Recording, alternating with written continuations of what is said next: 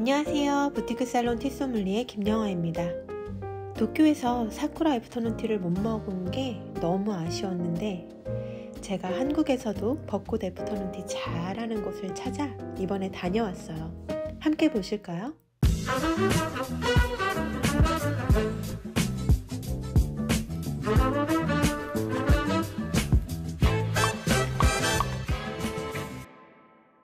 올봄 afternoon tea 잘하는 곳을 소개해 드리려고 찾다가 제 눈을 사로잡은 그랜드 하얏트 서울에 다녀왔어요. 경리단길에서 연결된 남산자락에 위치한 그랜드 하얏트 서울의 주소 및 afternoon tea 예약 방법은 카드를 확인해 주시고요.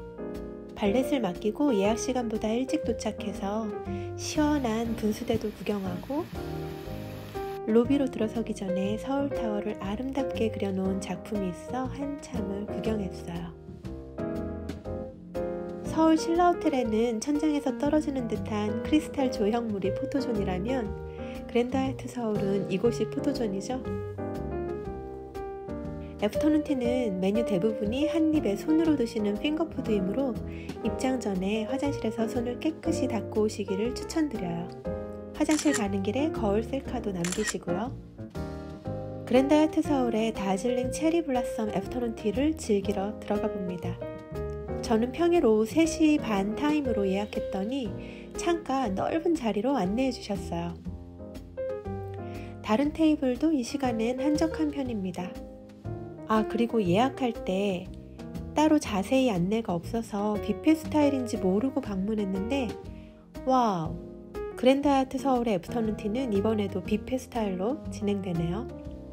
연주하시는 무대를 기준으로 왼쪽은 savory 뷔페가 오른쪽은 디저트 뷔페가 펼쳐져 있습니다. 아, 로맨틱한 무드의 2단 트레이도 제공되니 걱정 마세요. 뷔페를 장식한 벚꽃이 생화라 보기만 해도 참 아름답죠? 테이블에서 차를 먼저 주문합니다. 저희는 cherry blossom과 passion fleur라는 가향차로 우선 두 개 오더했고요. 각자 하나씩 더 오더할 수 있다고 합니다. 그리고 special cherry blossom 칵테일도 추가 오더했어요. 자, 이제 savory 메뉴를 가지러 출동해 봅니다.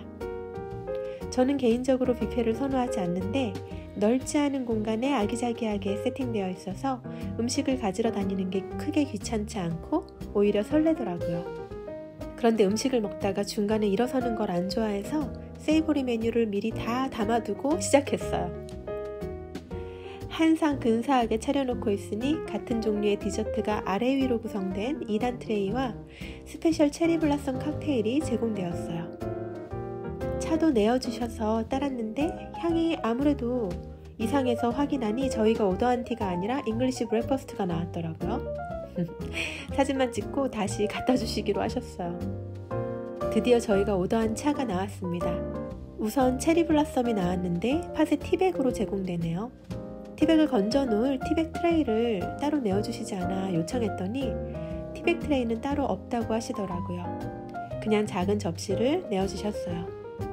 차를 살펴보니 오설록에 벚꽃향 가득한 올레 차인 듯해요. 또 다른 차는 프랑스의 다만프레르 제품이었습니다. 자, 차와 함께 세이보리부터 먹어봅니다.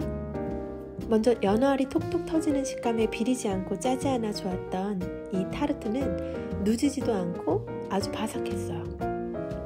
참치 타다키가 올라간 이 아이는 빵이 좀 큰 사이즈여서 한 입에 넣기 힘들었지만 담백하고 소스가 과하지 않아 맛있었어요. 프로시토가 올라간 브리오시 오픈 샌드위치도 짜지 않고 너무 맛있었고요. 흑임자 비스킷 위에 염소 치즈와 비트 마멀레이드 그리고 헤이즐넛이 올라간 이 메뉴도 고소하고 살짝 달콤한데 그 달콤함이 과하지 않아서 좋았고요. 어, 첫 번째 접시를 먹다 보니 차에서 살짝 아쉬웠던 부분이 음식으로 채워질 듯한 느낌이더라고요. 그리고 special cherry blossom 칵테일도 마셔봤는데 와, 이거 생각보다 굉장히 독해요. 비주얼은 예쁘지만 무서운 녀석입니다. 자, 두 번째 접시를 먹어볼게요. 먼저 카레 향이 나는 닭고기가 올라간 이 메뉴가 오늘 저의 베스트였고요. 가지 오픈 샌드위치는 제가 좋아하는 메뉴라 기대했는데 아, 이게 너무 심심한 맛이라 savory 중 가장 별로였어요. pulled pork 버거는 안에 고기가 좀 퍽퍽해서 별로였는데 번이 정말 맛있었고요. 튀김 역시 간이 너무 심심해서 살짝 느끼할 뻔했지만 소스가 매콤해서 끝맛이 괜찮았어요. 세 번째 접시는 이번 시즌 세이버리에 꽂힌 벚꽃이 올라간 이 메뉴. 아, 비주얼은 예쁜데 어떤 맛이었는지 잘 기억이 안 나고요. 근데 약간 새콤했던 것 같아요. 멜론과 하몽은 제가 워낙 좋아해서 두 개나 가져와서 먹었어요. 네 번째 접시는 치즈 platter로 치즈와 각종 건과일, 견과류를 먹었는데 치즈 platter는 다 맛있었지만 그 중에서도 살구 말린 것과 피스타치오 그리고 말랑한 치즈의 조화가 너무 취향 저격이라 한 번 더 갖다 먹었고요. 다섯 번째 접시는 생햄 4종과 올리브, 샬롯 피클과 whole grain 머스터드였는데 일단 올리브는 너무 솔티했고요. 생햄도 맛있었지만 샬롯으로 만든 이 피클이 정말 정말 맛있었어요. 자, 그리고 셰프님이 돌아다니시면서 아이스크림을 퍼주시는 퍼포먼스를 하더라고요. 아이스크림을 고르며 아이로 돌아간 듯 정말 즐거웠고요. 전 딸기와 바닐라 아이스크림을 선택하고 베리 콤포트와 딸기 초코, 초코볼, 망고 젤리를 토핑으로 얹어서 맛있게 먹었어요. 아이스크림 대박 맛있고 너무 좋은데 음, 시즌에 맞게 벚꽃 아이스크림이나 벚꽃 샤벗이 있으면 더 좋을 뻔했다는 생각이 들었습니다. 자 그리고 두 번째 차를 페퍼민트 아이스로 주문했어요. 페퍼민트와 함께 디저트를 먹었는데요. 이 plate의 디저트는 꼭 유리잔에 들어있는 판나코타, white crunky 위에 벚꽃나무 가지와 벚꽃이 앙증맞은 요 디저트, 그 다음에 벚꽃 머랭 쿠키, 그리고 에클레어 순으로 드시기를 추천합니다. 저는 멋모르고 에클레어 먼저 먹었다가 아주 달아서 정신이 혼미했는데 함께 간 지인은 제가 알려드린 순서대로 드시더니 좋았다고 하시더라고요. 순서는 당도 순입니다. 이 2단 트레이 외에도 아까 살짝 보여드렸던 디저트 뷔페가 분명히 있는데 세이보리로 이미 120% 배가 불러버린 저는 구경만 할 수밖에 없었어요.